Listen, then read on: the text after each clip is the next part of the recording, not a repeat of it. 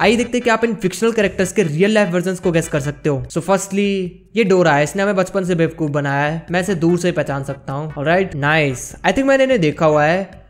शायद ये बैन है और एक ग्वैन है। और केविन के बारे में मुझसे मत पूछना।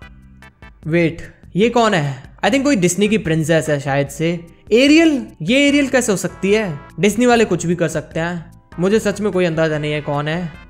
मुलान ओके एंड ये जैसमिन है। और अलादीन मेरी one of the favourite live action movies में से एक है। Right nice nice. इसे कौन नहीं जानता? ये वन पीस की नाम ही है लाइव एक्शन वाली। एंड लास्टली ये सबसे ज़्यादा सिंपल है। इसे कोई बता देगा ये जिन है। राइट सो so, आपके कितने सही थे?